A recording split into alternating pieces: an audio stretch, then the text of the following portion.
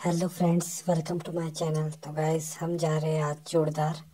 अभी हम यहाँ रास्ते में हैं गाइस ये पहुँच चुके हैं हम गाइस मंदिर के पास। तो इस तरह की मूर्ति यहाँ पर गाइस महादेव की है। ये सिरमौर में बेसिक चूड़धार और ये है गाइस आसपास का एरिया यहाँ काफ़ी हाइट है गाइस और काफ़ी तेज़ हवा चलती है यहाँ पर।